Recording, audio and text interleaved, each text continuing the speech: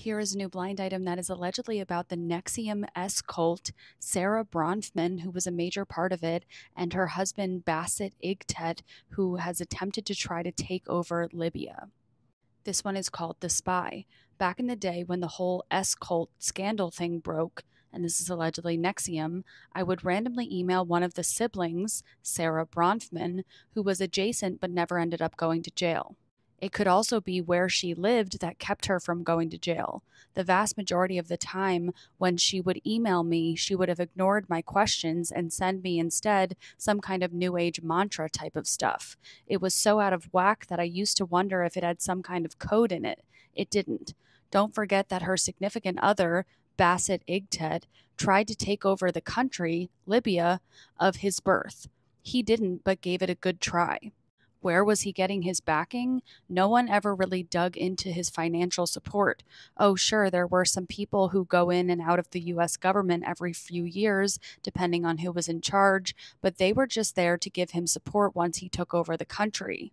Why, since that time, he has never left the very neutral country with very strict extradition laws, Switzerland.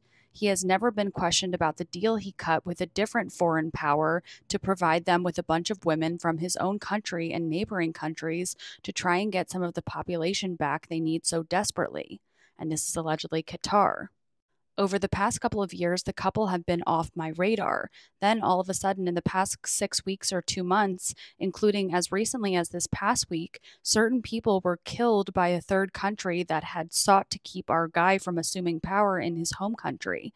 Is he leaking whereabouts of these people in exchange for another chance to take over his home country? Is he signing his own death warrant? Is his wife the go between? And again, this is allegedly NXIVM, Sara Bronfman, her husband Basit Igtet, Libya, Switzerland, and Qatar.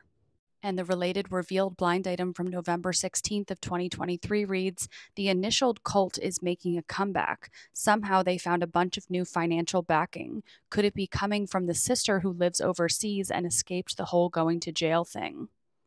And again, this is allegedly NXIVM and Sara Bronfman.